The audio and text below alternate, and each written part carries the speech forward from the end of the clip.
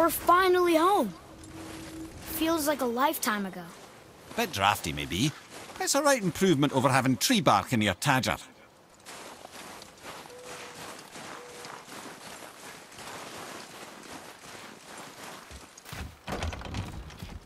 Time to rest. I'm gonna sleep through winter.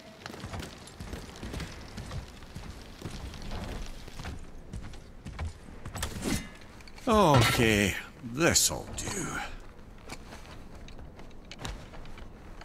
Sleep. Way ahead of you.